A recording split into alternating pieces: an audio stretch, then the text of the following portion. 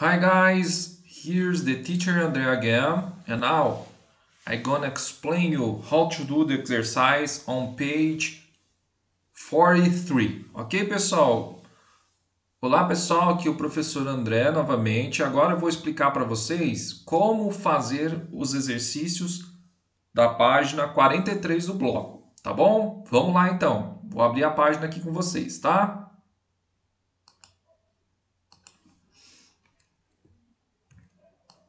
Pessoal, esse exercício é para a gente fixar o que a gente acabou de aprender, tá? Então, aqui no exercício 5, exercise number 5, check. Hoje a gente vai ter que marcar um xizinho, tá? De acordo com a imagem. Então, o que, que acontece no, no exercício número 5? A letra A. Ele está perguntando, what is it? What is it? What is it? It's a bicycle ou it's a kite?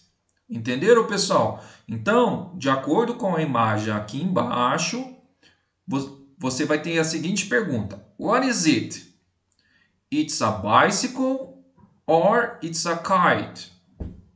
E aí você marca a opção correta, tá? A mesma coisa para a letra aqui C, tá? What is it? What is it? It's a robot or it's a doll. Entenderam, pessoal? E aqui embaixo a gente vai perguntar a cor, tá? Então, what color is it? What color is it? We are talking about this toy.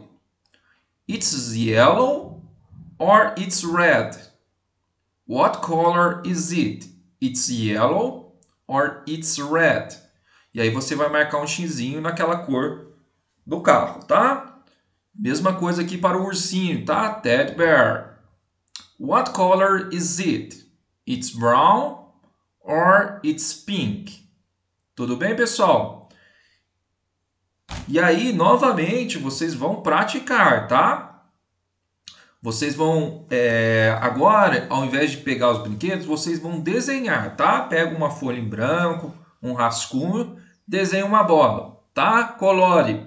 E aí vai perguntar para a mamãe, para o papai, quem está quem tá estudando com você. What is it? E aí, it's a ball. E aí você coloriu, por exemplo, de verde. Você vai perguntar, what color is it? It is green. Ok, pessoal? Então, essa é a explicação para a atividade da página 43, ok? Então, pessoal, see you on the next video. Bye bye.